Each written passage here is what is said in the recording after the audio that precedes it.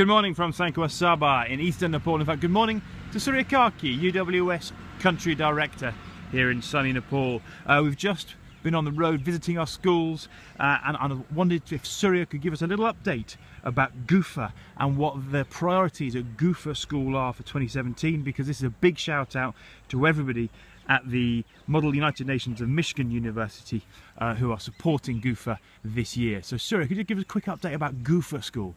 Firstly, thank you very much for your pledge support.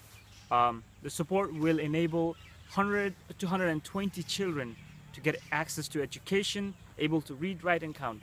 Well, uh, in 2017, with your support, we'll be able to build the bathrooms that we've been waiting to build, and also we'll, we'll obviously work on the quality education, which is essential to our model here in Nepal. Uh, the village, situated on a hill, looks absolutely stunning, and, and with hopefully uh, your support, we'll be able to advance further the mission we have to provide education to these children and specifically focusing on quality education. We have the infrastructure up, but we now need your support to build on the education that we've pledged with the communities. Fantastic. Thank you very much, Surya, and thank you very much to everybody in Model United Nations and Michigan University. Best wishes all the way from Sankhuwasabha, Eastern Nepal, January 2017.